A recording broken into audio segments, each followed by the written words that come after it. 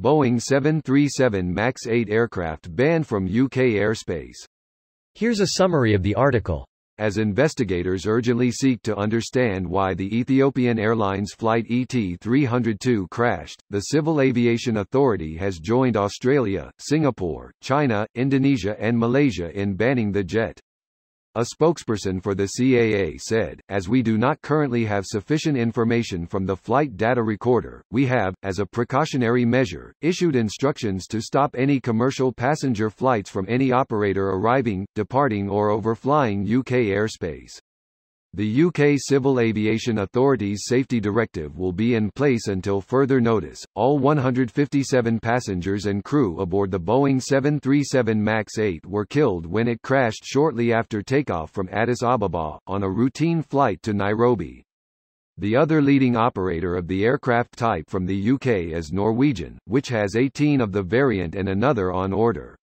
Research by The Independent on flights over the past week show that Gatwick-Helsinki is the most frequent UK service using the jet, but London and Edinburgh to Oslo and Edinburgh to New York are also popular. Some foreign airlines operate services to the UK using the MAX 8, including Turkish Airlines from Istanbul to Birmingham and back. This post received a score of 3,327, with an upvote ratio of 96%. Here are the top comments in response to this article. I'd like to return 40B worth of planes please. I can offer you store credit. Oh, okay, I guess. Does it expire? Yeah. You have one year to buy $5 billion worth of planes and stuff from us. Oh and if we take over a year to deliver, haha we will, your store credit has expired.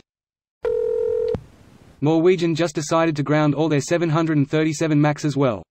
And now Germany as well. Netherlands too. Edit, entire European airspace now. USA, USA, USA. It's okay the US government said they plane is fine. Two crashes in five months is normal. I know that Southwest already implemented some sort of a backup system on their cockpit display that would make the MCAS issue really obvious if it was occurring so the pilots could disable it without confusion about what is happening.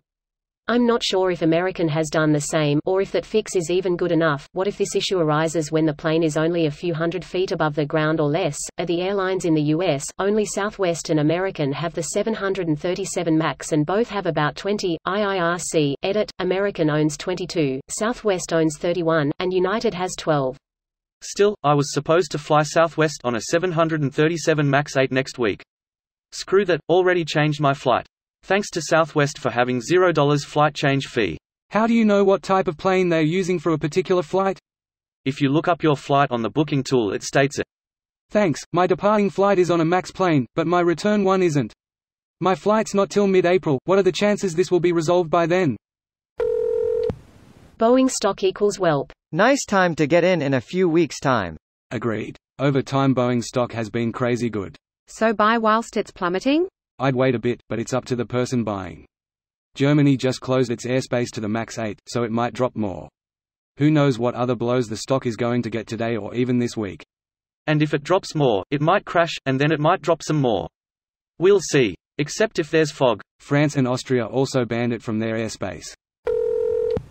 Yesterday there was a prediction that if at the early stages of investigation some shifty stuff surfaces unofficially, then the major Western countries would start banning 737 MAX after hearing through the grapevine. Looks like things look serious at this point. All of Europe have banned it as of right now ASA. This is becoming a full-on crisis. About half of the world's active 737 MA extension 8 are now grounded. Opening square bracket. Edit, in a bit of morbid reality, two of them are listed as written off.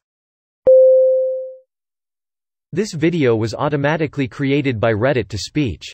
The article and comments in this video were selected from Reddit according to their upvotes, and any paraphrasing was performed by smmry.com, without any human intervention.